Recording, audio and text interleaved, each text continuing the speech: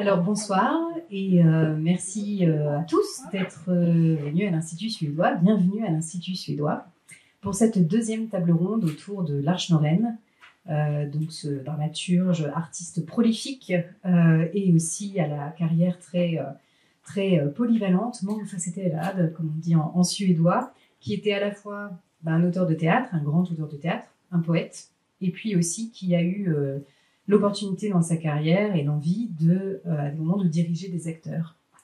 Et donc, c'est un petit peu ce sur quoi va porter euh, cette table ronde ce soir. À la fois, comment est-ce qu'on interprète ces textes et puis qu'est-ce que ça a fait d'être dirigé euh, par l'Arche Lorraine.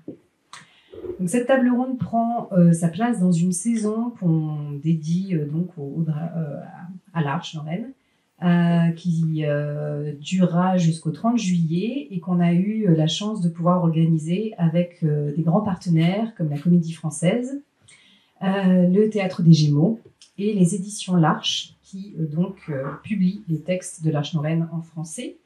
Et justement, ce soir, on, en profite pour célébrer le lancement d'un nouveau livre publié par, par l'Arche, donc un nouveau texte de Noraine en, en français, solitaire, et la réédition d'une pièce qu'il avait écrite pour la comédie française et qui s'appelle Poussière. Et donc, si vous le souhaitez, c'est euh, l'arche euh, vous attend euh, dans le, ce qu'on appelle nous le creux de l'escalier, donc près de l'escalier à l'entrée, et donc pour vous vendre des ouvrages à la fin de, la table ronde. Et puis cette table ronde et cette saison, eh ben, on n'aurait pas pu l'organiser sans le soutien et la grande contribution d'Amélie Wendling, euh, qui euh, est la traductrice euh, et l'une des traductrices et la qui était la grande collaboratrice de Noren aussi au théâtre et qui nous a fait grand honneur et ben, de nous aider à construire cette, cette saison, à compléter l'exposition par un film et puis aujourd'hui qui a accepté d'orchestrer et d'organiser cette table ronde. Donc voilà, je lui passe sans plus tarder la parole et je vous souhaite une très bonne soirée.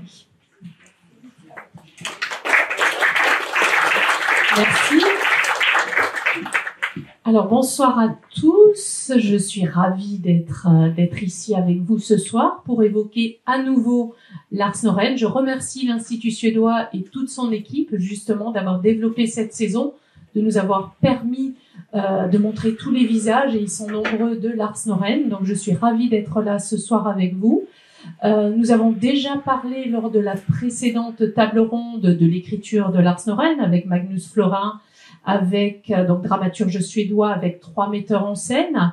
Euh, cette fois-ci, on, va aborder l'écriture, les mots de Lars Noren et le travail de Lars Noren, mais par le prisme des comédiens. Donc je suis ravie ce soir d'être accompagnée par trois formidables comédiens. Euh, bonsoir François Gillard, bonsoir Dominique Blanc, bonsoir Jean-Pierre Daroussin. Je vous prie d'excuser Hervé Pierre euh, qui nous rejoindra à la fin de cette rencontre. Il joue actuellement L'homme de plein vent au théâtre Bastille, que je vous conseille d'aller voir, qui est un spectacle poétique magnifique. Et donc, il était en enregistrement pour Radio France exactement au même moment. Ça s'est superposé à la dernière minute. Donc, il s'excuse, hein, il vous prie de l'excuser pour euh, son absence, en tout cas, en début de cette, au début de cette rencontre. Donc, je vais vous présenter nos trois invités brièvement parce que je pense qu'il est guère euh, nécessaire de les présenter. D'abord parce que ils sont très connus, on les connaît, et puis surtout parce que vu leur formidable carrière, on y passerait du temps si on devait rentrer dans le détail de votre parcours. Donc je vais faire une brève, brève présentation. Euh, François Gillard, donc il est une comédienne née en Belgique, entrée à la Comédie Française jeune en 1997 et qui est le 507e sociétaire de cette institution qui est la Comédie Française. On va pouvoir la voir à nouveau bientôt dans l'Avare, dans le bourgeois gentilhomme euh, de Molière. On l'a vu récemment dans l'événement d'Annie Ernaux, dans la balade de Souchon, que tu as, coécrit et mis en scène au studio de la Comédie Française. Et surtout, elle a participé aux deux créations de Lars Noren à la Comédie Française, euh, qui sont pures en 2009, au Théâtre du Vieux Colombier, et Poussière en 2018, en salle Richelieu de la Comédie Française. Elle était également dans le fragment Noren, euh, le spectacle Hommage et traversée que la Comédie Française et le Vieux Colombier nous ont permis de, présenter à tout le monde et de créer le 24 avril et qui est disponible sur la, web télé de la Comédie Française si vous voulez voir la traversée de son écriture, là plus précisément. Dominique Blanc, bonsoir. Dominique Blanc, donc qui est une grande actrice du cinéma français, une comédienne de théâtre d'abord, euh, puisqu'elle a commencé à travailler sur les planches. Elle a rencontré Patrice Chiraud, je crois que le premier spectacle était Pergut, justement, et un long compagnonnage ensuite. Si je le cite, c'est que encore tu es en tournée de la douleur, euh, mise en scène par Patrice Chéreau, et cette tournée se poursuit. La reprise de la tournée de ce spectacle. Euh, je crois que la semaine prochaine, tu es à Tonon. Tonon-les-Bains. Voilà. donc, euh, si donc Dominique Blanc, qui a qui est une comédienne qui a reçu quatre Césars et quatre Molières. Si je dis ça, ce n'est pas pour citer le nombre de récompenses, mais pour dire que ton visage d'actrice et ton visage de comédienne rayonnent de la de manière équilibrée, on peut dire, sur nos planches et sur nos écrans. Euh, en 2016, tu es rentrée à la Comédie Française. Tu es le 538e sociétaire et tu as participé à la création de Poussière, Poussière qui a permis à Lars Noren de rentrer au répertoire de la comédie française. Donc, Dominique Blanc était de cette aventure et était aussi dans les fragments Noren au Vieux Colombier. Jean-Pierre Daroussin, qui, de la même manière, je crois que vous étiez ensemble, justement, vous l'évoquiez, vous étiez ensemble au cours de théâtre, euh, Florent a commencé. Voilà, vous avez fait le... et tu as aussi commencé sur les planches. Tu es un comédien, un grand comédien de théâtre, même si on te connaît aussi beaucoup au cinéma. Euh, D'ailleurs, les comédiens et les compagnons des planches étaient les, aussi des compagnons de plateau de cinéma, euh, puisque Catherine Fro, je crois, a commencé, a, été avec toi dans les premiers spectacles de théâtre et aussi après dans les films. Euh, tu es aussi très présent sur les planches de théâtre. Tu étais dans la reprise d'art de Yasmina Reza. Euh, dernièrement, au théâtre Montparnasse, dans le principe d'incertitude de Simon Stephens. Je ne sais pas comment on prononce son nom. Stephens. Et voilà. Et en 2013, tu as été dirigé par Jean-Louis Martinelli dans la pièce Calme de Lars Noren au théâtre des Amandiers de Nanterre. Donc voilà nos trois comédiens liés à Lars Noren, puisque nous sommes là ce soir pour parler de lui. Je vais vous présenter en quelques mots le déroulé de la soirée. Je voulais vous repréciser, puisqu'on aura l'occasion de l'évoquer, que dans l'écriture de l'art, dans l'ensemble de ses pièces, puisqu'il a écrit plus de 100 pièces de théâtre, on peut distinguer trois grandes périodes d'écriture. Si je dis ça, c'est que nous allons l'évoquer à nouveau. La première période, qui est sa période de, des drames bourgeois entre guillemets, avec au début ses pièces autobiographiques, autobiographiques pardon, qui sont les pièces dites d'hôtel, euh, qui est sa première période d'écriture. Par la suite, il y a un théâtre beaucoup plus où ce sont des quatuors bourgeois, où les couples se déchirent, où on voit l'impact sur les enfants. On est dans la famille, celle de Lars Noren dans les pièces autobiographiques, et puis ensuite dans les familles en général, dans les règlements de couple, beaucoup plus euh, dans les milieux bourgeois, de manière beaucoup plus beaucoup plus ouverte que sa propre histoire. Dans un deuxième temps, il a plongé dans un théâtre qu'on peut dire plutôt social et sociétal, euh, avec la pièce, une pièce comme catégorie 3, comme Kliniken, que vous avez peut-être vu au théâtre des Gémeaux récemment, mise en scène par Julie Duclos.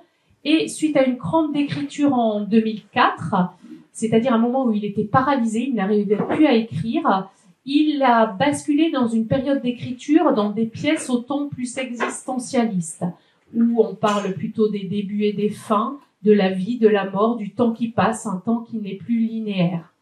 Donc, si j'évoque ces trois périodes, c'est que nous avons, nous pourrons parler avec Jean-Pierre de Calme, qui est une pièce justement de sa première période, une des pièces d'hôtel autobiographique, et Dominique et Françoise ont travaillé, elles, sur des pièces de sa dernière période, une pièce où il va, il tend de plus en plus vers l'essentiel, où les personnages disparaissent, les, les, actes disparaissent, les scènes et l'histoire même.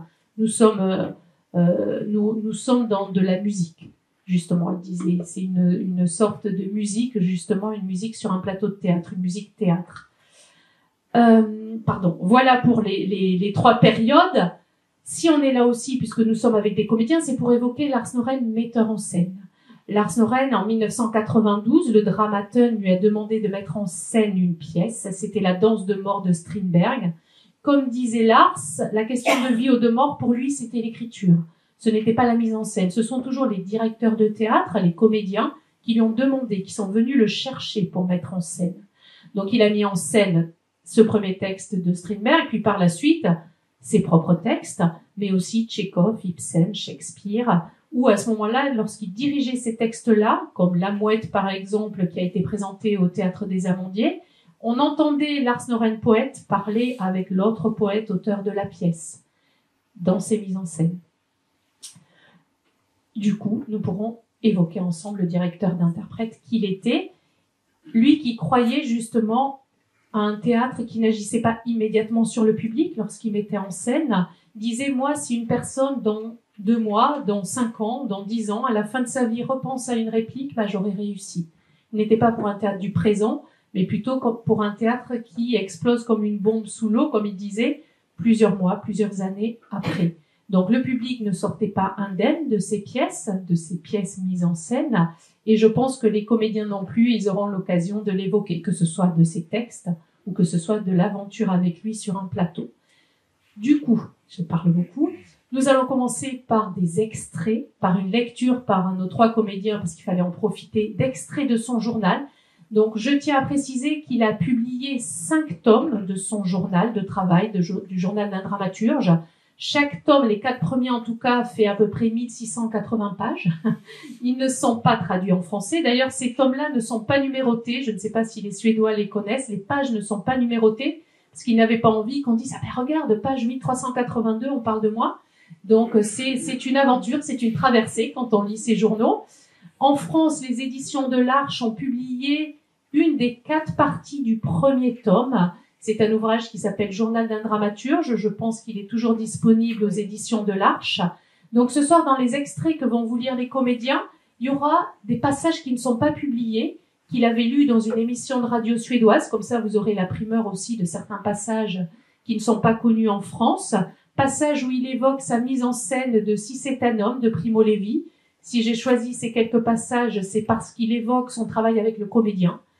Euh, et ensuite, il y aura des extraits du journal publié chez l'Arche, où là, il parle de son travail avec les comédiens français au Théâtre des Amandiers lors de la création de Guerre. Donc, nous aurons ces extraits-là lus par les comédiens. Et ensuite, dans un deuxième temps, nous parlerons de Poussière et Solitaire, puisque ce sont, euh, ce sont des, euh, les deux pièces publiées par l'Arche euh, il y aura un extrait du texte d'un entretien que j'ai eu avec lui à propos de poussière. Donc là aussi, c'est un texte. Ce seront des mots de Lars que vous aurez l'occasion de découvrir et que personne n'a euh, entendu ou lu très souvent.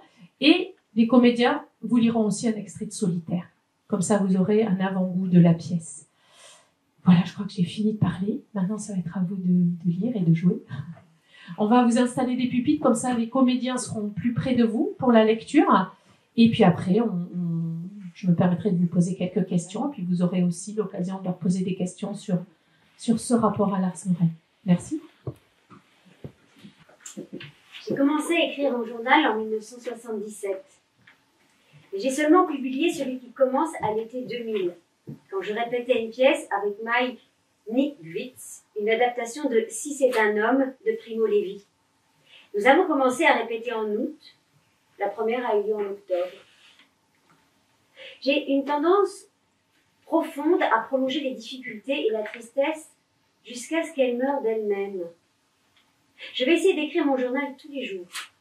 J'aime l'énumération des routines absurdes et des rares plats que j'achète. 5 août 2000. Je suis allé au Enco avant 10 heures légère crise de panique, mais je l'ai vaincue. La panique ressurgit parce que je me demande où elle est partie. Je suis inquiet sans elle. J'ai acheté des chaussures pour Linda. J'ai parlé avec C, qui m'a dit que Fauss et Vidar, le directeur du Norsk Théâtre, me passe le bonjour et m'informe que Fauss va être joué dans 37 théâtres cet automne. Ça m'a déprimé. Même si j'aime beaucoup ces pièces. Je suis allé courir à 13 heures, travailler sur mes pièces, j'ai nettoyé les toilettes, je vais faire un emploi du temps pour Mick. Je ne croise presque personne lorsque je sors. Vous avez longtemps que je n'avais pas trouvé la vie aussi belle, aussi proche et distante qu'aujourd'hui. L'immeuble est également paisible. Pas de musique, pas de voix, pas de dispute. Seulement les arbres qui s'agitent lentement à la fenêtre du grand salon, comme une mer. 16 septembre 2000. La première de Si c'est un homme aura lieu le 5 octobre à, pardon pour la prononciation, Kung, euh, Kung Baka. Kungsbaka. Pardon, Je me permettre de dire c'est Kungsbaka, c'est une ville que je connais. Voilà. C'est merveilleux, mais difficile de travailler avec lui.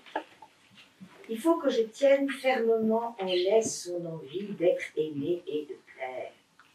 Notre collaboration va me manquer. C'est la chose la plus harmonieuse, la plus démunie de conflits, la plus sérieuse que j'ai vécue.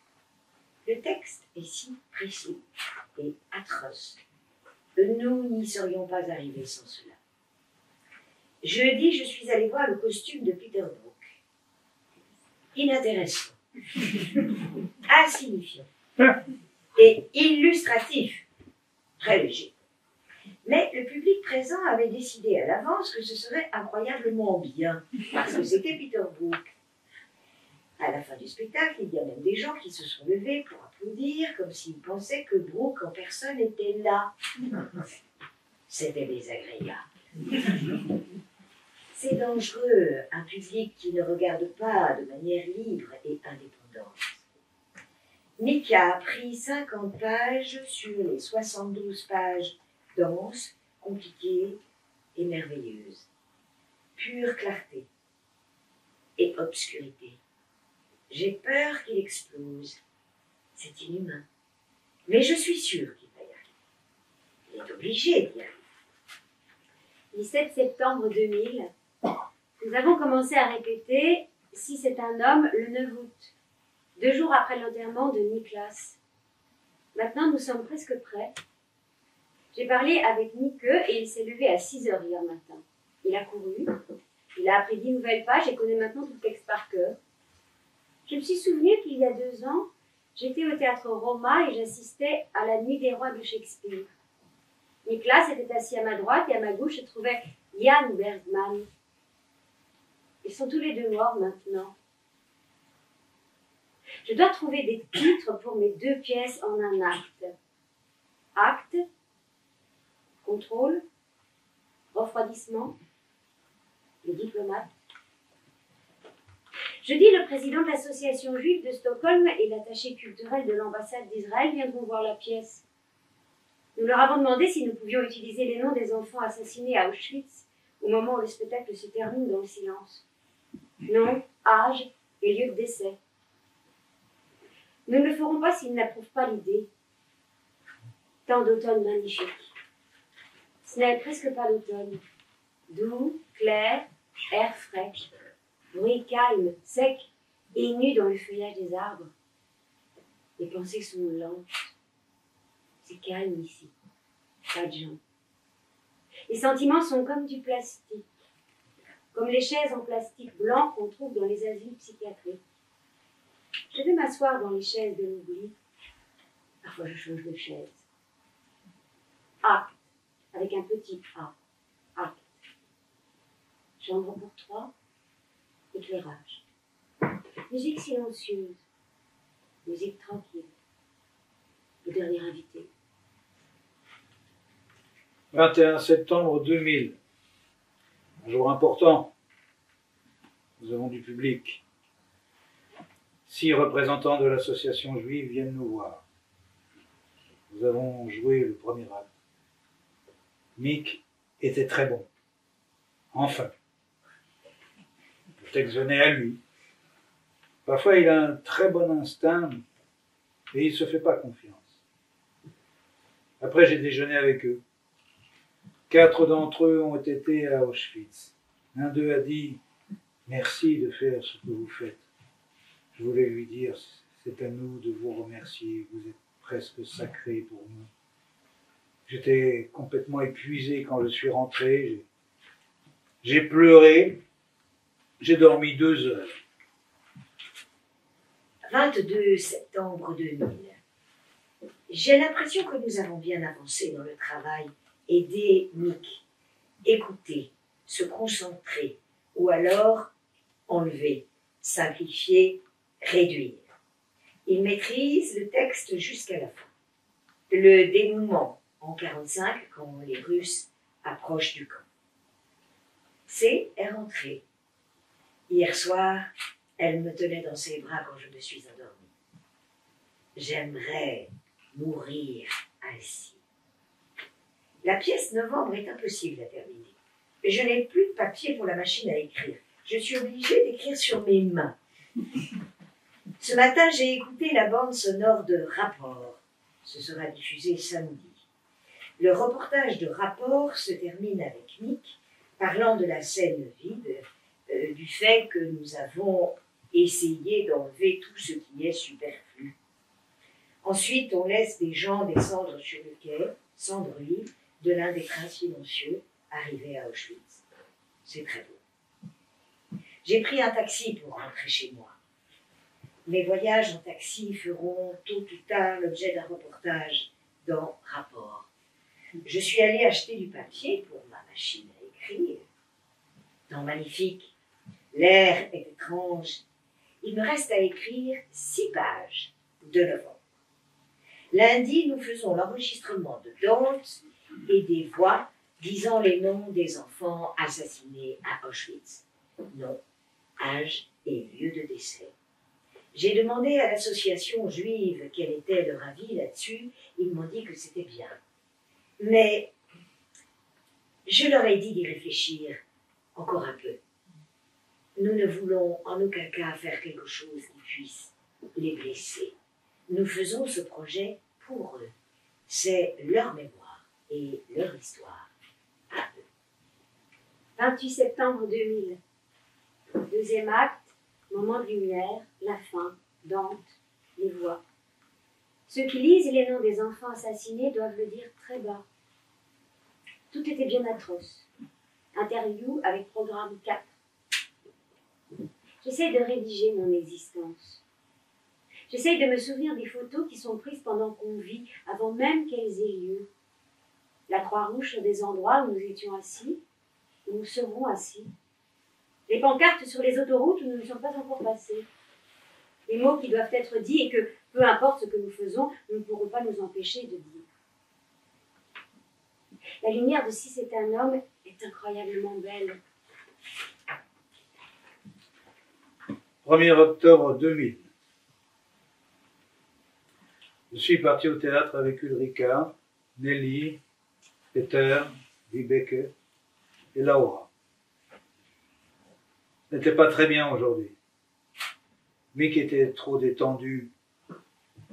Il pense avoir atteint le sommet de la montagne alors que c'est là qu'il doit commencer à grimper.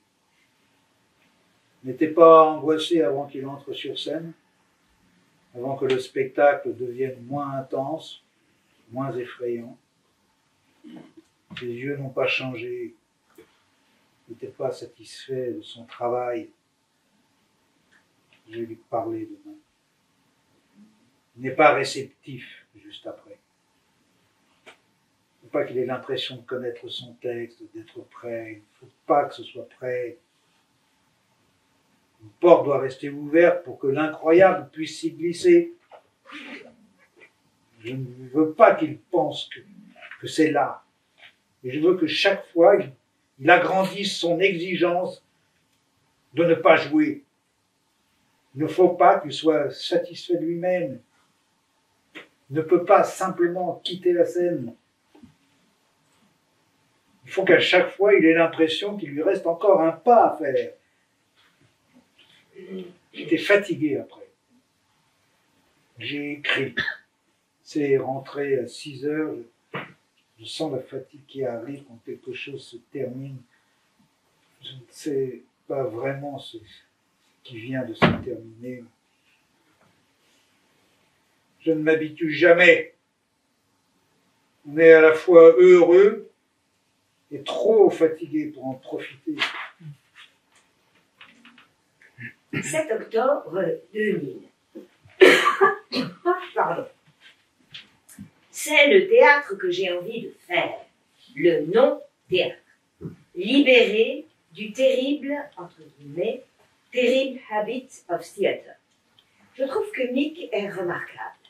Quand il ose rester immobile, quand il s'empêche de rajouter des réactions personnelles, ce fut merveilleux de travailler avec lui. Je crois que c'est la dernière fois. Je ne serai pas accablé si nous recevons des mauvaises critiques.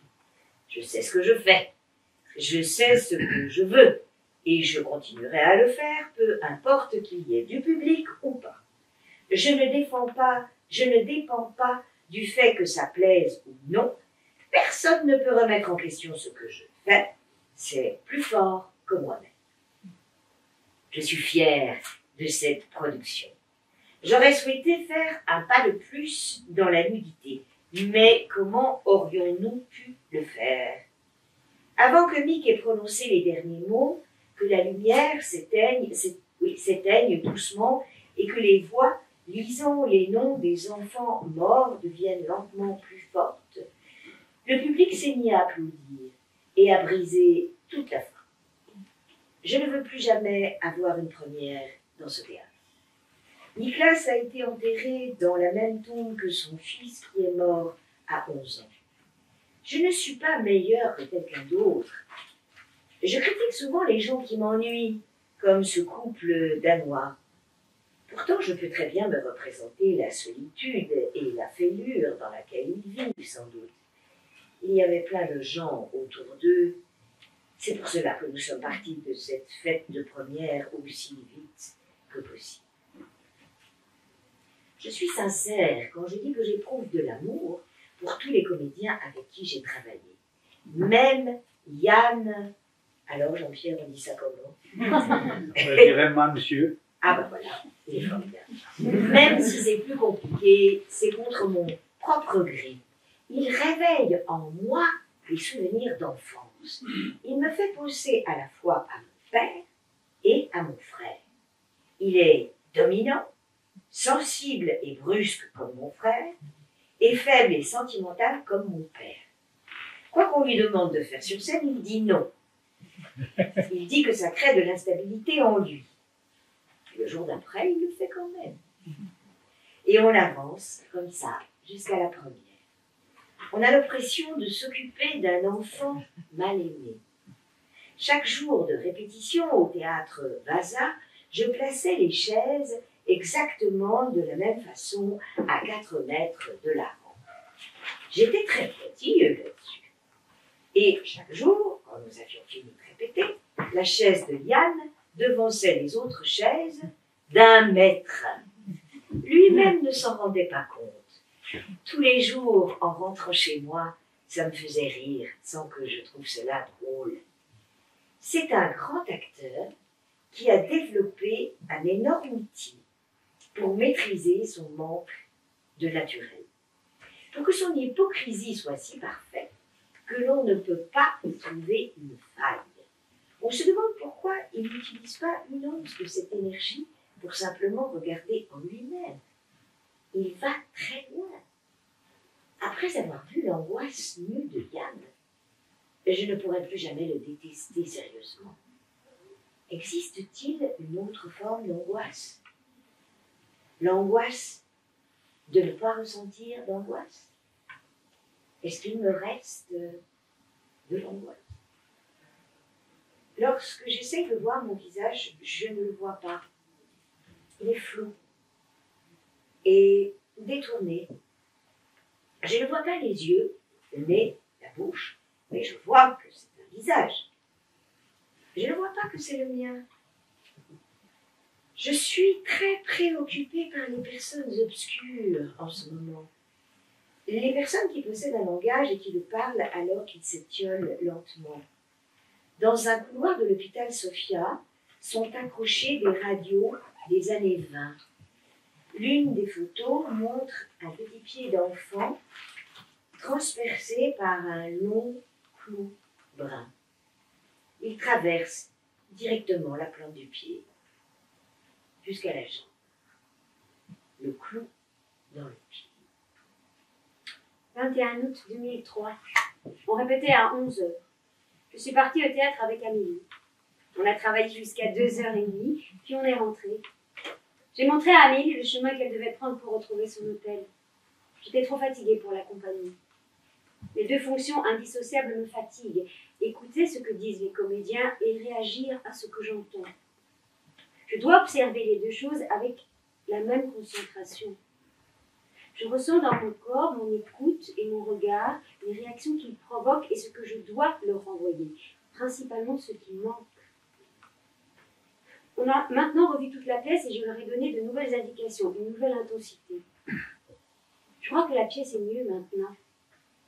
Bjorn était de bonne humeur, mais avait très mal aux jambes.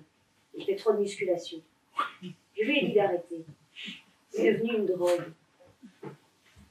Quand est-ce que je vais commencer à faire du sport?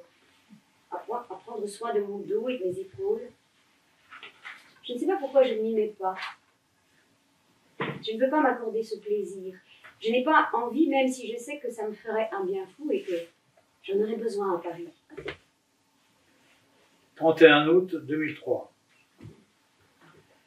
Je me suis couché tôt. Je me suis endormi à 10h30. Je me suis réveillé ce matin. C'était un enfer.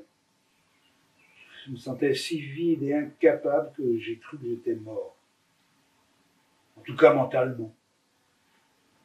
Je n'arrivais pas à imaginer que j'allais bientôt diriger cinq comédiens français inconnus, ni que j'aurais la force de gravir toutes ces pénibles marches vers la, première, si loin dans l'horizon. Parfois, il y a des petits éclairs violents dans mon cerveau qui me font très mal.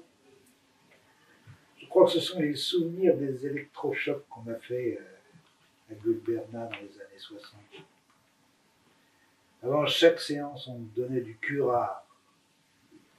Le soulagement que ça procurait, comme une grande vague sombre qui m'aspirait en arrière.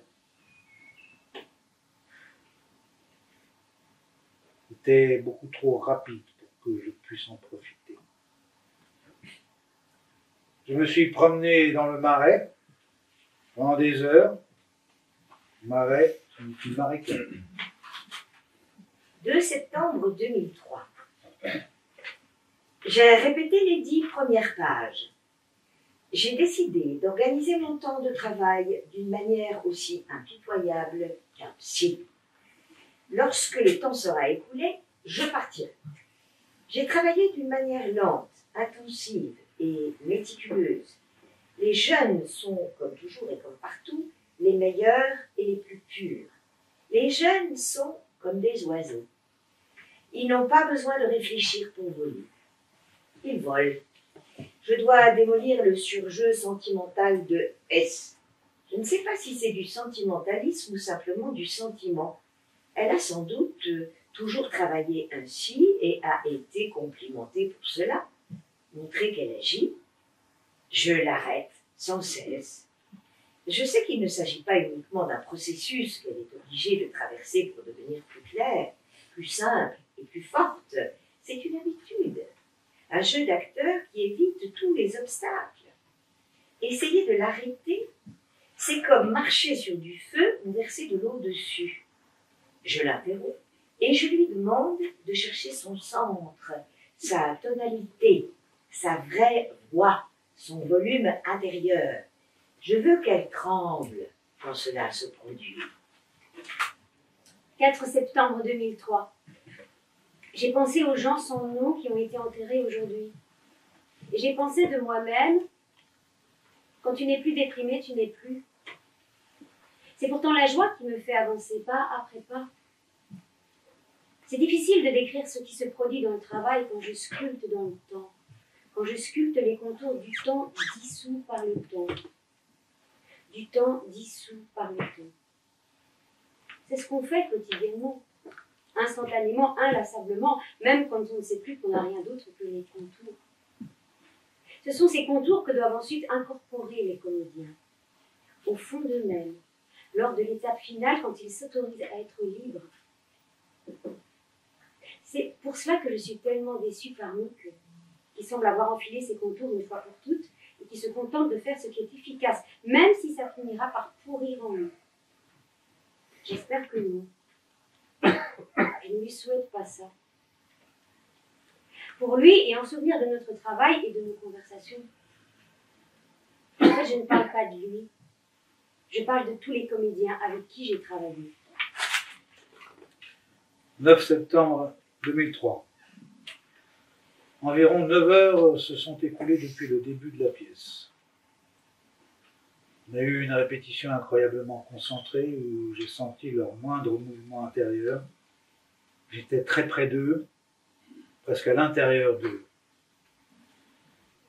J'ai tout entendu et tout vu. Quand ils se sont braqués, quand ils se sont ouverts, quand, quand ils ont eu peur. Mais à 4h15, j'étais épuisé et obligé d'arrêter. Je ne sais pas ce qu'il restera demain de tout ce qu'on a accompli.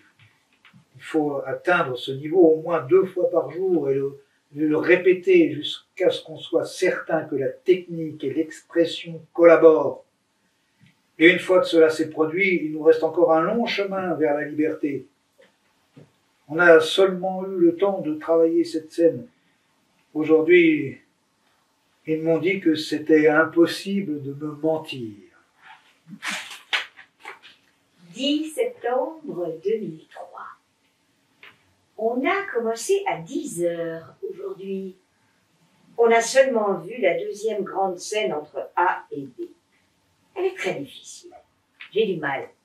J'ai du mal à trouver son centre, là où elle s'arrête, se contemple et ce qui se passe après.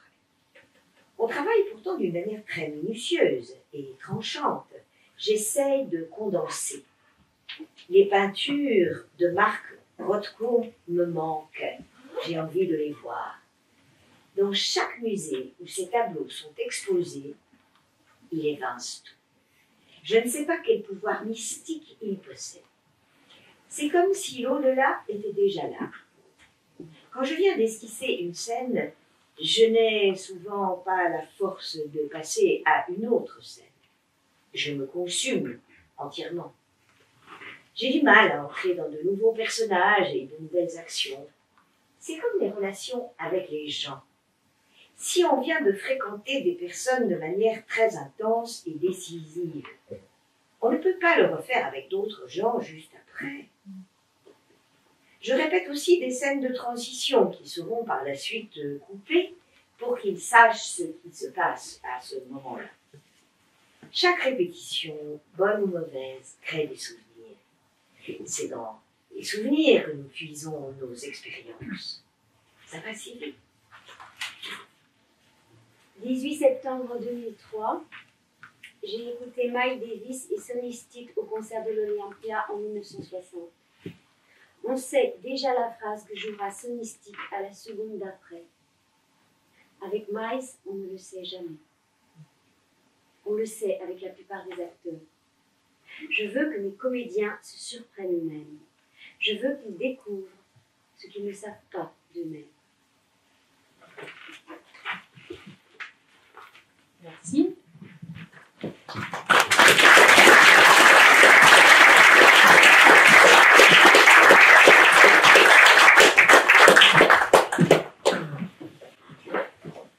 Donc voilà, vous avez une petite esquisse du travail de Lars, déjà avec ses propres pièces ou les pièces d'autres dans ce qu'il veut raconter sur le plateau, dans ce qu'il veut raconter avec le public, euh, il veut raconter au public, pardon, et dans sa manière, avec quelques, quelques extraits là, sa manière de travailler avec les comédiens, ce qu'il cherche à trouver avec les comédiens. Voilà, donc moi d'abord, dans un premier temps, à tous les trois, j'avais envie de vous demander, est-ce que s'emparer des mots de Racine, s'emparer des mots de grands auteurs classiques, d'auteurs contemporains, c'est la même chose sur un plateau que de s'emparer des mots de Lars Noren ou est-ce que il y a d'autres choses qui se passent?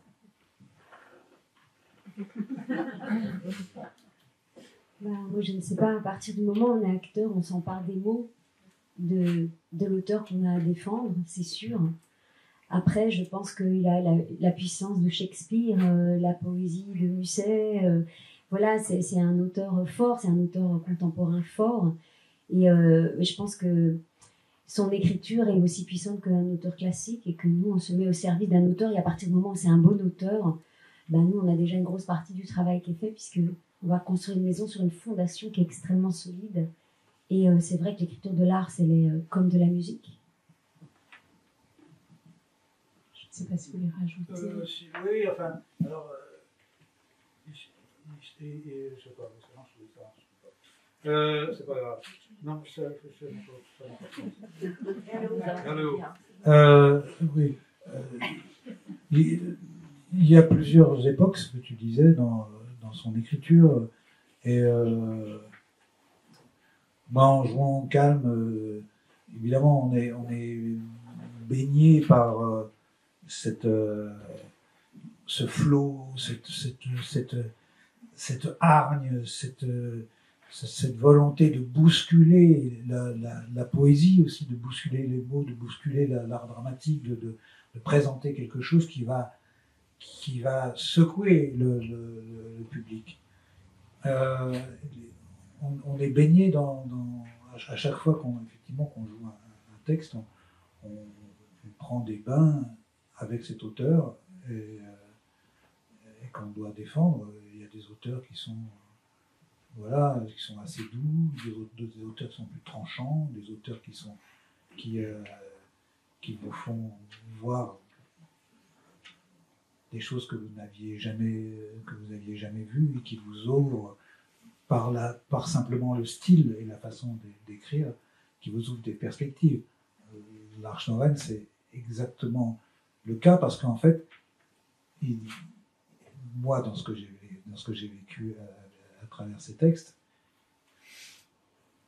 il y a une prise de liberté, une prise de liberté dans le langage. Il y a quelque chose qui est de l'ordre de, alors c'est peut-être pas ce qu'il ce qu'il écrivait à la fin, mais en tous les cas, là, il était encore, je, je trouve, dans l'influence de ce qu'était sa passion, qui était le jazz, et, euh, et, et de, et c'était vraiment la mode hein, des années 60, de 50, 60, c'était vraiment, ça a donné après même des grands musiciens, c'est l'improvisation. L'improvisation, c'est le, et il y a des expériences qui n'ont, on n'en a pas fait beaucoup de l'improvisation au, théâtre ni, ni dans, en littérature. Mais lui, là, il a posé, dans ses, je trouve, dans ses premiers textes, il a posé la possibilité de ça la possibilité d'avoir un, flot de notes énorme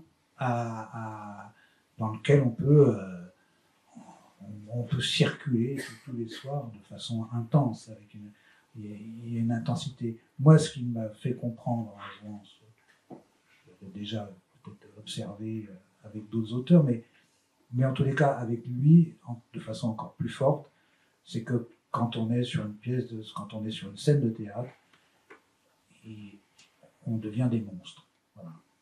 Et euh, cette, monstruosité, euh, il l'a bien. pour, moi, il, m'a fait toucher du doigt avec ces textes. Alors, dans ce que tu dis, et c'est pour ça que je vous posais la question, parce qu'on présente souvent Lars Noren comme l'auteur des acteurs. Parce que chacun de ces textes est écrit, comme pour les comédiens, comme des partitions pour virtuoses. Chacun en est l'instrument. Je sais que dans différents, que ce soit dans toutes les périodes, hein, les périodes beaucoup plus épurées, de textes de la dernière période sur lesquels vous avez travaillé, comme tu disais, toi, les périodes où il y a des longs monologues, où la poésie traverse aussi encore, où là tu parlais du jazz, dans chacune de ces pièces, il y a beaucoup de, citations musicales que le metteur en scène choisit de prendre en didascalie, que les comédiens, ou pas, que les comédiens euh, citent aussi ou chantent, puisqu'il est écrit que le comédien s'empare d'un morceau de jazz, comme tu disais, dans les années 50, puisque c'était lié au moment de son enfance. Mais est-ce que pour vous, justement, quelle saveur, quel plaisir de travailler sur cet auteur qui vous utilise comme de grands instruments vi- virtuoses? Alors, alors, est-ce que ça, oui, ça marche? En fait, euh, sur Poussière, euh, ce qui était, enfin, je pense que Françoise, tu peux en parler aussi. Ce qui était assez extraordinaire, c'est que euh, on répétait et en même temps il écrivait. Tu es d'accord avec ça? Et en même temps, il y avait des entretiens avec chacun de nous que nous pouvions tout à fait, des entretiens individuels avec euh, Lars et Amélie qui, qui traduisaient Lars, où Lars posait pas mal de questions personnelles, voire même très intimes, et on répondait si on voulait, et on répondait ce que l'on voulait. Et moi, c'était vraiment la première fois qu'au théâtre, euh, je fabriquais, nous fabriquions tous les auteurs de, enfin les acteurs de Poussière, je sais pas combien on était, on était une vingtaine, non? Je sais plus. Une quinzaine? Voilà. Enfin, un certain nombre en tout cas, euh, que tout d'un coup, ils nous demandaient de participer en fait à la pulpe de la pièce. Et ils s'inspiraient à chaque fois et ils réécrivaient à chaque fois. Et la pièce augmentait au fur et à mesure. Alors, pour mémoriser le texte, c'était pas simple. Parce que souvent, on l'avait pas en direct, on l'avait un petit peu tardivement. Euh, ce qui nous obligeait, nous, à faire des italiennes euh, tous ensemble. Donc, euh, ça nous obligeait à être complètement dans le collectif.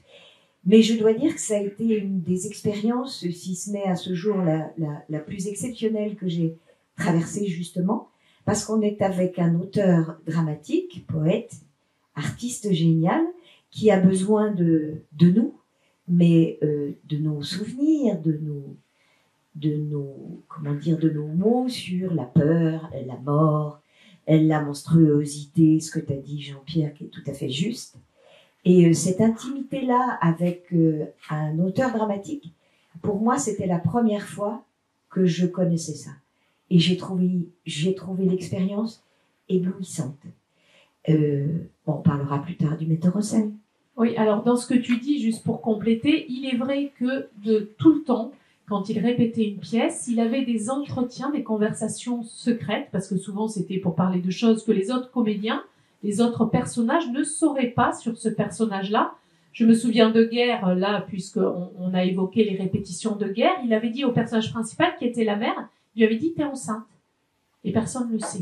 Et ton mari revient, et tu as un amant. Donc voilà, hop, des petits secrets. Là, les conversations aussi sur Poussière, c'était à propos de leur personnage, mais c'était aussi, et ça on aura l'occasion d'en reparler puisque c'est une des questions, une sincère rencontre de Lars Noren avec la personne euh, avec qui il travaille, avec qui il a choisi de travailler. Comme il dit, c'est, très, il est cannibale, hein, il était cannibale de la vie de tout le monde, le personnage, la personne, peu importe, ça, ça existait. Sur les répliques, quand il travaillait avec ses comédiens, bah, il avait ses personnages en vrai sur scène. Donc il pouvait entendre aussi ce que leur corps, ce qui était déjà inscrit dans leur personnage et dans l'air, avant même que vous, vous ayez conscience de ce qui allait être dit. Ce qui peut être un, un cauchemar, ou en tout cas une extrême difficulté pour les comédiens, puisque des répliques arrivaient tout le temps, puisque moi, il me disait à la fin, il me dit, à un moment, dis-moi stop, parce que je finis par détruire ma propre pièce à tout le temps continuer de rajouter des choses, ce qui est un cauchemar aussi pour euh, la maison d'édition. Je sais que Claire euh, Stavo est ici parce que quand on me demandait, puisque je traduisais aussi le texte définitif, en fait, le texte publié qui doit être en avant n'était jamais concrètement finalement ce qui était sur le plateau. Et pour les comédiens, moi je me souviens au moment de poussière, le lendemain de la première, il est parti à l'aéroport, il m'a encore pour dire, ah ben tiens Bruno, il pourrait dire cette réplique. Fais, tu t'en vas maintenant. Tu les laisses, ils sont déjà avec leur texte, c'est fini. Donc, euh, donc voilà, sur cette écriture en direct, c'est vrai qu'il laissait toujours des espaces. C'est vrai que jusqu'au bout, c'est pour ça que la pièce est très intimement liée à ceux euh, qui existent en répétition avec lui sur le plateau. C'est pour ça que c'est très compliqué aussi quand on décide de le monter, parce qu'il y a des répliques qui sont évidentes, mais la didascalie n'est pas forcément écrite. Je me souviens dans Poussière aussi, à un moment, le personnage d'Hervé Pierre disait euh, ça fonctionne pas. Donc, dans la traduction, nous, je sais que Johan, avec qui je traduis, est là dans la salle. On, s'était dit bon, ben ça fonctionne pas, on sait pas du tout à quoi c'est lié. Donc Hervé, la première fois qu'il l'a fait sur le plateau, qu'il a dit cette réplique, il fait bon, ben, ça fonctionne pas, c'était pas du tout lié. Et puis là, d'un coup, d'où l'intérêt de travailler avec l'auteur, il fait mais c'est la montre que tu as eue à ta communion offerte par ton grand-père pour tes 14 ans qui qui fonctionne pas. Ah ouais, d'accord. C'était super éclairant. Mais ça, on peut pas le deviner, et peu importe, puisque le comédien, le metteur en scène, après, s'empare d'un texte et lui fait raconter euh, ce qu'il veut sur, sur son texte. Donc voilà, mais du coup, comme tu parlais, puisque je peux pas te poser sur Poussière cette question sur le texte, puisque Françoise, le personnage de Françoise n'avait pas de texte, mais on en parlera aussi. Ce qu'il disait au moment de Poussière, c'est qu'il y avait de plus en plus de silence dans son écriture par rapport au moment des longs monologues. Donc moi, je me demandais en tant que comédien, comment on s'empare des silences sur scène, puisque la pièce, il disait, les choses les plus importantes, c'est ce qu'on ne dit pas, pas forcément ce qu'on dit. Est-ce qu'il y a quelque chose qui était vraiment très présent par rapport à d'autres pièces dans l'écriture de Noren, justement, dans ce rapport au silence, puisque chaque réplique a sa propre histoire? Alors là, je crois que c'est vraiment Françoise qui doit en parler. Ah non, mais c'est évident. Françoise, c'est à toi. C'était pas forcément toujours évident puisque je n'étais pas aux italiennes et travaillais le texte. Et bien souvent, ils oubliaient que j'avais des répliques silencieuses. Donc je devais toujours trouver comment euh, exister physiquement ma partition sans parasiter ce qui était dit par mes camarades qui avaient des- chaque réplique avait était comme un caillou comme une- il fallait pas parasiter et en même temps il fallait que je trouve mes silences qui étaient des répliques c'est-à-dire mes actions comment je les regardais comment je les touchais comment je je jouais pendant qu'eux faisaient et ça c'était comment voilà. Et ça ça a été pour moi tout un travail de comment exister silencieusement sans parasiter la parole qui était dite. Parce que c'était vraiment un personnage de transition. Elle était la la seule jeune femme puisque tous les personnages sont beaucoup plus matures Donc le personnage, juste pour un peu expliquer, parce que vous n'avez tout le monde n'a pas forcément vu Poussière, même s'il a été rediffusé, même si le texte va être réédité. En fait, c'était l'histoire. euh, tous les personnages avaient 80 ans ou plus et disparaissaient un par un. Il y avait un seul personnage qui était jeune, qui était la fille d'un autre personnage et qui était handicapé et qui ne parlait pas. Tu, tu, tu pouvais compter jusqu'à trois. ouais Voilà, d'où le Jusqu'à quatre. trois. Ouais, et en fait, euh, c'est la seule qui porte un prénom. Tous- les personnages ont une lettre pour, euh, les, distinguer. Et moi, il m'avait dit, elle s'appellera Marilyn. Parce qu'en fait, on avait collaboré sur euh, Pure. Et quand il a décidé de monter Poussière, il m'a dit, je suis désolée, tu, es trop jeune, mais j'ai envie de travailler avec toi. Donc, il y a un personnage qui est évoqué pour le moment dans la pièce, qui est l'enfant. On ne sait pas si c'est une fille ou un garçon. Disait, je ne sais pas je- ce personnage m'est totalement étranger, on va le développer ensemble, on va le construire ensemble.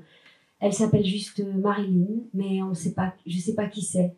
J'ai, autant les autres personnages, je sais, autant toi, je sais pas, et tu vas être le fil entre finalement la vie et la mort, puisque c'est moi qui les emmenais quand ils passaient de l'autre côté du rideau, symboliquement, quand ils passaient du côté de la mort, où ils étaient toujours là, mais derrière un filtre.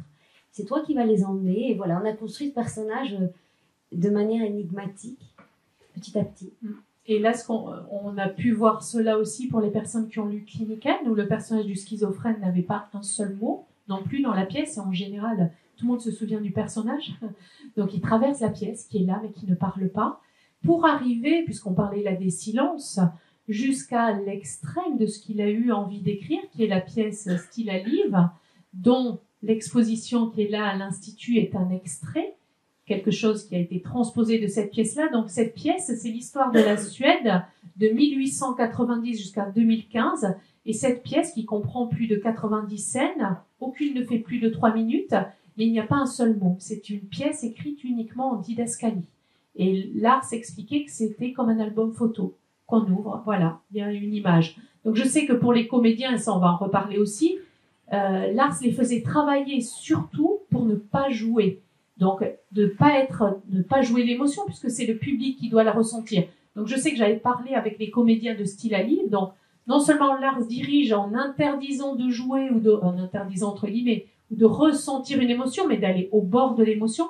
Mais là, en plus, ils allaient au bord des mots, ils n'avaient même pas les mots. Ils étaient épuisés après la représentation des comédiens, puisque justement, toi, tu as pratiqué sans les mots, mais tu avais des répliques. Euh, c'est comment arriver à jouer tout cela sans jamais avoir un seul mot sur le plateau? C'est une belle expérience parce que ça m'a appris euh, à écouter. J'étais, moi aussi, j'étais fatiguée d'écouter, c'est-à-dire d'être concentrée avec tous les personnages qui déployaient leur histoire. Et je les regardais et parfois je les touchais. Et voilà, c'était une expérience sensorielle extraordinaire, euh, ce personnage de Marine sur ce plateau avec vous. euh, de vous écouter, de ressentir tout ce que vous ressentiez. Comme, ouais, c'était une belle expérience. Alors là, moi je suis assez contente que même en lisant son journal, euh, il y a eu des rires dans la salle.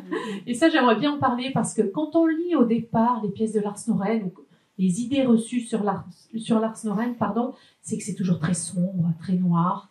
Euh, D'ailleurs, Lars me disait lui-même quand il n'allait pas voir ses pièces ou très peu, mais chaque fois qu'il les voyait, il dit mais pourquoi il monte ça de manière aussi sombre?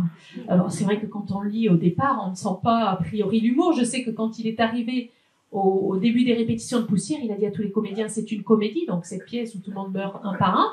Euh, mais au final, comme là dans la lecture du journal, le public rit. Pour moi, dans l'écriture de Lars, il y a trois couleurs. Il y a la violence, certes, il y a la tendresse et il y a l'humour. Donc là, j'aimerais bien que vous parliez un peu, parce que même, toi dans Calme, de l'humour dans l'écriture, dans le, les pièces de Lars. Comment vous, vous le ressentez Comment... Bah, de toute façon, dans la pièce que j'ai jouée, il y avait Pardon, pardon, excusez-moi. C'est vrai que je te répondais à toi. voilà, ah, alors, euh, alors, que. Excusez-moi. Euh,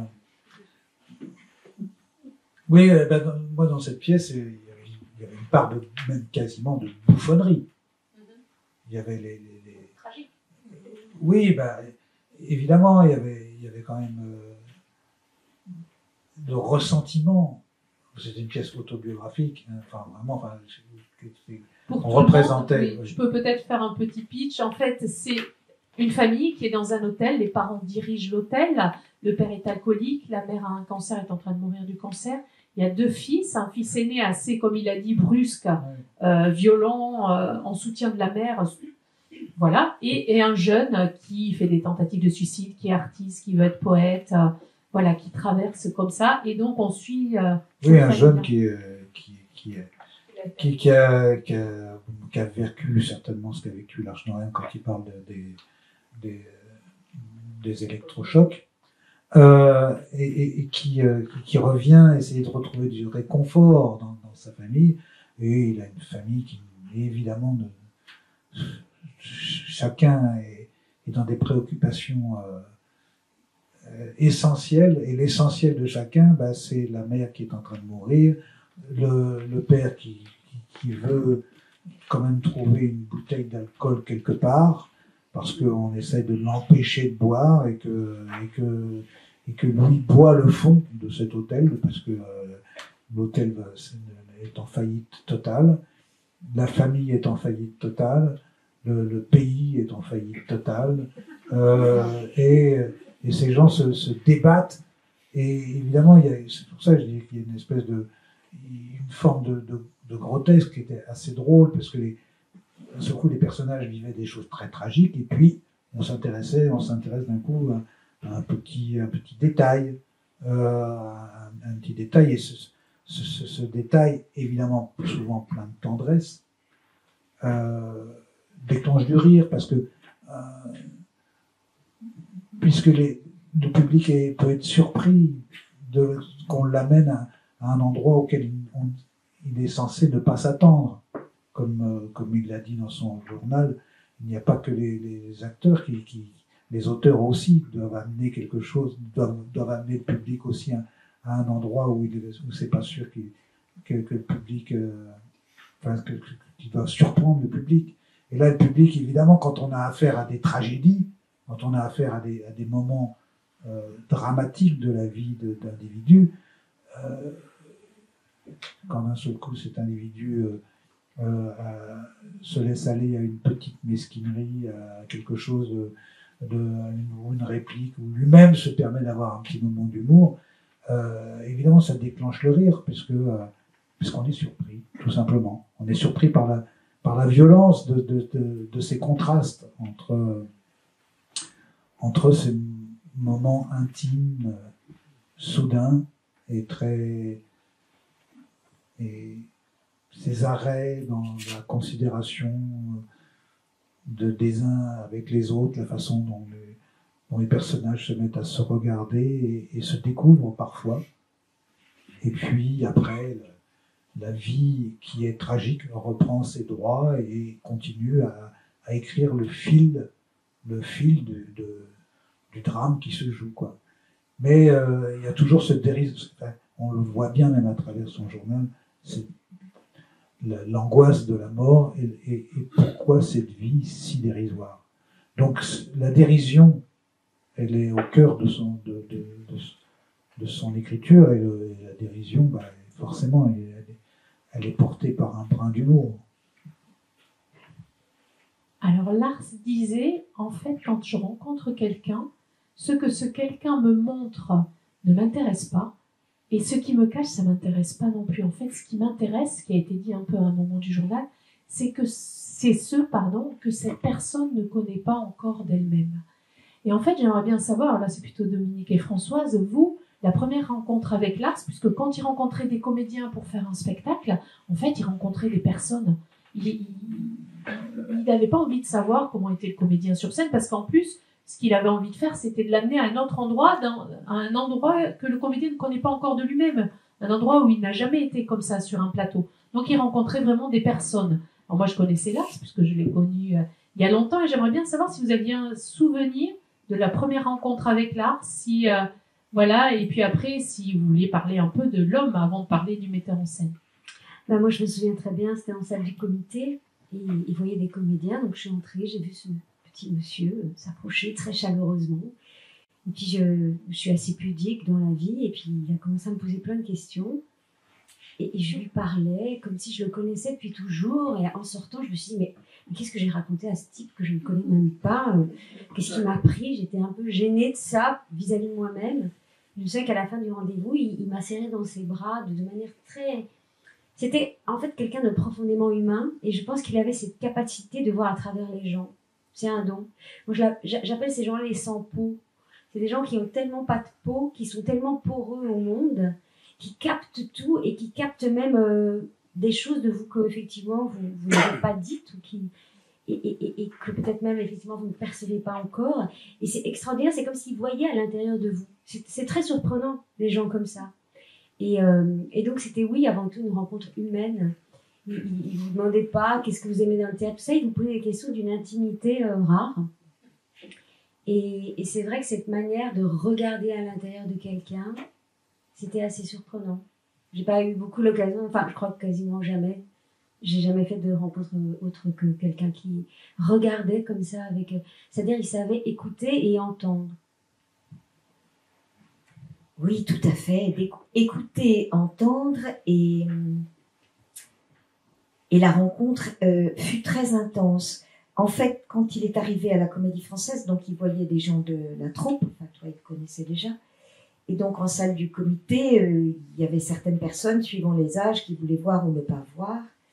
Et euh, moi, on m'a dit que j'avais rendez-vous. J'étais, j'étais très contente, un peu surprise parce que je croyais qu'il voulait que des vieux. Mais euh, finalement, j'étais pas si jeune. Et, dans le comité, quand je suis arrivée, donc il y avait Amélie et puis euh, lui, euh, tout, tout en noir, euh, avec un regard incroyablement intense. Et, et en anglais, comme ça, avec son accent qu'il avait, il m'a dit que- que- que- Qu'est-ce que tu lis en ce moment? Ah, bah, je dis bah, En ce moment, je lis la correspondance de Vincent Van Gogh. Ah bon, ça te plaît? Oui, beaucoup. Pourquoi Alors, on a commencé à parler de ça. Puis après, il me dit Est-ce que tu as lu les réponses de Théo? Ah, bah, je lui dis Non, je savais même pas que ça existait. Ben si, bien sûr, ça existe. Ah bon? Et c'est traduit en français? Ça, je suis pas sûre. Et c'est traduit en français? Il me dit Oui, oui, j'en suis sûre. Ah bon? Et on s'est mis à parler, en fait, des deux frères, donc de la peinture et puis, et puis de Théo qui protégeait son frère artiste, etc. Ça a dû durer dix minutes, vous voyez. Puis en sortant, je me suis dit Oh là là, ça va sûrement pas marcher. J'aurai aucune nouvelle, je serai jamais prise. Et puis finalement, je m'y suis retrouvée. Alors c'est vrai qu'il parlait assez. Alors ce qui avait d'étonnant, moi, pour l'avoir côtoyé un peu, c'est que chaque fois qu'on rencontrait des comédiens pour différents projets ou des personnes, les gens se mettaient à parler de leur vie, mais directement sans connaître forcément, et que Lars intégrait ces informations-là, comme il disait, il est cannibale. Et euh, je me souviens d'une rencontre avec une comédienne où, dans la conversation, moi, j'étais toujours présente. hein. donc non seulement la personne ne connaît pas Lars, mais ne me connaît pas moi non plus. Elle n'est pas en relation intime. Et cette personne-là commence à lui raconter que sa mère, quand elle, elle était jeune fille, enfin enfant, elle avait 7 ans, sa petite sœur avait 6 ans, leur mère était tellement au bout du rouleau qu'elle avait essayé de les noyer dans la baignoire. Et qu'au dernier moment, elle avait lâché la main pour les relaisser respirer. Ben, L'après-midi, on répétait à Nanterre, euh, à la mémoire d'Anna Poitovskaya, mais ça a été une réplique du personnage. Il dit ah, Tiens, Maline, est-ce que tu peux dire là, quand j'avais 7 ans, ma mère a essayé de me noyer et tout ça. Donc, au final, ça a fait partie de la pièce. Je pense que Lars ne se souvenait absolument pas au moment des répétitions après d'où venait cette phrase-là, mais hop, c'était intégré dans le geste d'écriture. Ce que je trouvais très beau, au-delà de la rencontre des personnes, c'était aussi un matériau que lui mettait dans, dans sa besace pour après euh, travailler sur cela. Ou travailler avec cela, en tout cas. Euh, que vous dire d'autre? Je regarde mes questions aussi parce que le temps passe. Euh, du coup, là, on a parlé de l'homme Lars Noren, le directeur d'interprète, justement, quand on voit à travers quelqu'un, euh, c'est aussi un moyen après, dans le bon sens du terme, de manipuler ce quelqu'un sur le plateau pour le faire aller vers son personnage. Donc je me souviens qu'il répétait tout le temps just the words. On n'a pas besoin de jouer, on est là, on fait confiance aux mots. Après, ce que toi tu ressens, euh, voilà, c'est ta cuisine, mais on est d'abord sur les mots, on ne joue pas les mots, on ne fait pas pléonasme. Donc est-ce que vous, toi, il t'a dirigé dans dix ans après, son écriture a changé, mais est-ce que son geste de metteur en scène a changé sur Poussière? Voilà, j'aimerais juste qu'on évoque Lars Noren, metteur en scène, pour vous qui avez côtoyé pas mal de metteurs en scène. Euh, voilà, est-ce que vous pouvez en parler un peu? Ben Moi, je distingue toujours les, les metteurs en scène et les directeurs d'acteurs. C'est pas la même chose. Un directeur d'acteur, c'est vraiment quelqu'un qui va vous emmener par la main, qui va vous emmener vers un personnage, euh, voilà, qui va vous faire faire un voyage qui, qui vous échappe. Et ça, c'est vraiment le génie des grands directeurs d'acteurs. Un metteur en scène, c'est plutôt quelqu'un qui va imaginer un univers dans lequel il va placer, mais il va peut-être pas passer du temps à vous faire travailler votre personnage. Il, va vous donner des, grandes lignes, et puis après, voilà, la, chose va, va, se créer. Et l'art, c'est vraiment un directeur d'acteur. Euh, c'est-à-dire que moi, quand je l'ai rencontré, je me suis dit, ah ben cet homme, il a planté une petite fleur que je ne vais avoir de cesse d'arroser, sûrement encore très longtemps, dans il y a un avant, un après. Ce qui m'a appris, en tout cas ce qui m'a transmis, euh, ouais, c'était, oui, c'était rare et c'était vraiment, euh, voilà, j'avais l'impression qu'il il m'avait pris par la main, même s'il y avait des fois, il était exigeant, il n'était pas d'accord, effectivement, il ne supportait pas qu'on se mette à jouer. Donc quand tout d'un coup on se sentait un peu à l'aise, qu'on maîtrisait, on se mettait à jouer, c'est-à-dire à, signifier les choses et, ça, il n'aimait pas du tout. Je me souviens d'une fois où c'était fait engueuler. Très violent parce que nous on avait l'impression qu'on avait fait un filage magnifique. pas du tout. Il était pas content du tout. Il fallait arriver à comprendre euh, ce qu'il voulait dire. Ça mettait un petit peu de temps. Mais c'est sûr que voilà, moi je, m'estime très chanceuse d'avoir pu travailler avec cet homme-là. Parce que je sais qu'il m'a transmis des choses qui me serviront sur tous les autres projets.